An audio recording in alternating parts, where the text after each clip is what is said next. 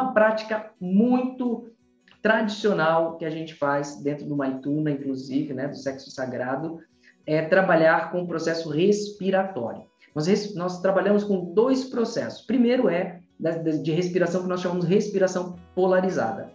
A primeira respiração é o que chamamos de respiração síncrona ou em sintonia com a parceira. Como assim, Givan? Vocês inalam e exalam juntos. Isso vai aumentar o nível de intimidade e conexão. Então vocês vão estar lá frente a frente, né? E vocês vão, vão respirar em, ao mesmo tempo que o outro também. Então vocês vão, deixa eu melhorar aqui. Vocês vão inspirar enquanto o outro também inspira. Vocês vão expirar enquanto o outro também, no mesmo tempo, expira. Pode ser lá, né, com as mãozinhas dadas, mas nós recomendamos uma outra posição, que é a posição Miyabiu.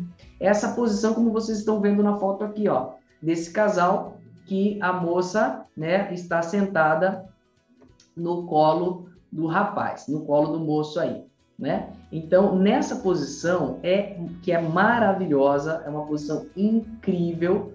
Vocês têm a possibilidade de, primeiro, essa percepção do contato, de estar perto, de estar conectado com cheiro, com toque, corpo, com corpo. A sensação do corpo se encostando, o, o exalando a, a, o vapor, né? Tipo, suor, suor né?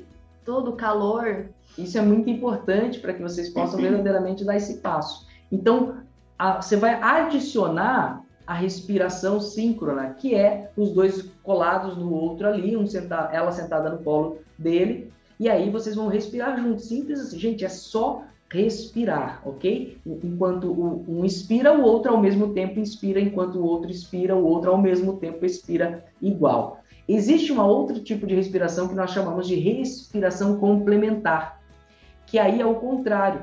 Né? Você, enquanto um inspira, o outro expira. Ou seja, a dica aqui é que vocês possam encostar os lábios, encostar os lábios apenas, e, um, e vão respirar e inspirar pela boca, ok? Então, enquanto um inspira, o outro expira. Ou seja, você inspira o ar do outro. Enquanto um solta o ar, você suga o ar dele ou dela e vice-versa. Vice né? E vocês vão permanecer nessa respiração complementar. Nesse momento onde um inspira o ar do outro, é muito comum que vocês façam um movimento para acabe acontecendo um movimento para frente e para trás, né? E aí, o mais comum é que isso comece a virar um círculo, ó.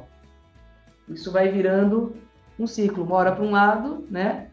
E hora para o outro. Não importa. Isso é automático. O seu corpo mesmo vai começar a fazer. Não, não fica parado, dura, não. Deixa acontecer. Isso. Não, não, não crie dificuldades dentro do processo, né? Então, senta lá e ou, ou a, né, acolhe a, a Shakti, né? Nós chamamos no Tantra de Shakti.